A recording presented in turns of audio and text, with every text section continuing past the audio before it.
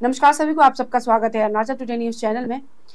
कुछ दिन पहले आप सबने देखा होगा, हमने एक रिपोर्ट बनाया था वेस्ट कामिंग डिस्ट्रिक्ट से, जहाँ पे एक गाँव के लोग 30 साल से गवर्नमेंट के एश्योरेंस को पूरा होने का इंतज़ार कर रहे हैं। और मैं बता दूँ कि वो गाँव है वांगहो जो बोमदिला हेडक्वार्टर से कुछ ही किलोमीटर पहले पड़ता है।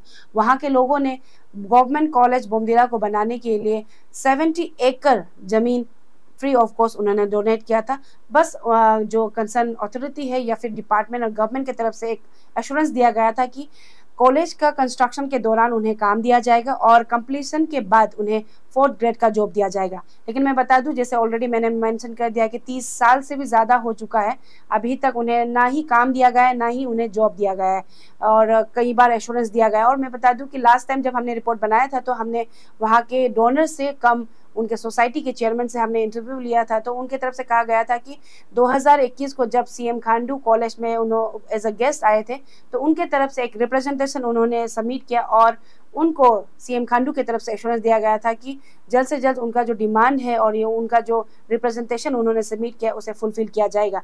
बावजूद उसके अभी 2021 से 2023 पूछ चुका है, लेकिन कोई अपडेट नहीं आया, जिसके लिए, जिसके चलते हम रिपोर्ट बना रहे थे और हाल ही में हमें मौका मिला सीएम खांडू से क्वेश्चन करने के लिए तो हमने उन्हें क्वेश्चन किया। तो देखिए उन्हें क्या कहना था ये मुद्दा को बोमजिला गवर्नमेंट कॉलेज जो है, वो बंगो बस्ती जो है डोनेट किया था फ्री ऑफ़ कॉस्ट सेवेंटी एकड़ उन्होंने डोनेट किया था। और लास्ट टाइम जब आपने विज़िट किया था आपकी तरफ़ से उन्होंने उन्होंने रिप्रेजेंटेशन आपको सबमिट किया था, जहाँ पे आपने एश्योरेंस दिया था कि उनका जो भी डिमांड है, उन्हें फुलफिल कर देगा। सर, कब तक होगा, हम जानना चाहेंगे? क्योंकि फ्री ऑफ़ कॉस्ट है, उनका तरफ़ से बातें रखी गई थी कि काम दिया जाएगा फोर्थ ग्रेड जॉब किया जाएगा, लेकिन अभी तक कुछ अपडेट नहीं, तीस साल से ज़्यादा हो देखिए उसका तो ऑलरेडी मैंने रिप्रेजेंटेशन अगर हमको जो भी दिया है तो मैं डिपार्टमेंट को वहाँ पे मार्क करके भेजा है कि उसको एग्जामिन करके फिर फ़ाइल में ये लेके आने के लिए। तो अभी तक हमारा लेवल में ये मैटर को डिपार्टमेंट में? ही होगा। तो डेफिनेटली वहाँ का जो कंसर्न कमिश्नर है, वो एग्जामिन करके हमारे और पे लेके आएगा।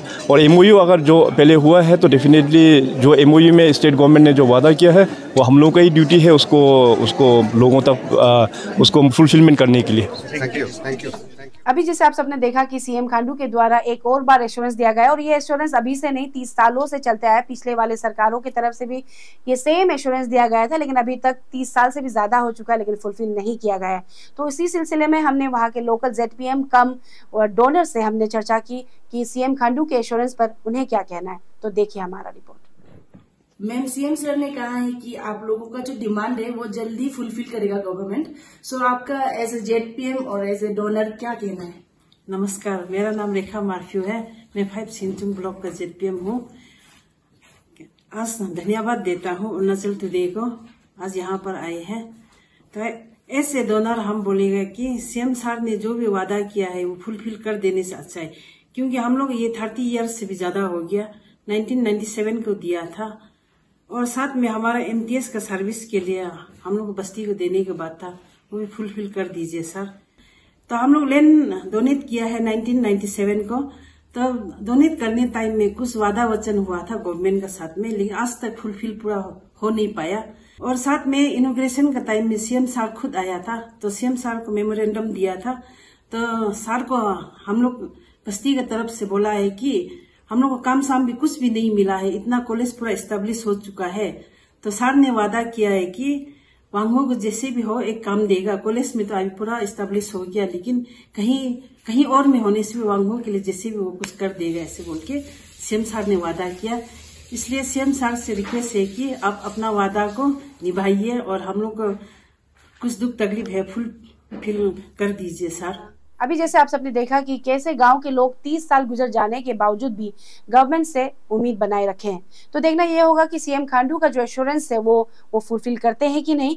या फिर जो एश्योरेंस उनके तरफ़ से दिया गया है, वो एश्योरेंस ही रह जाता है।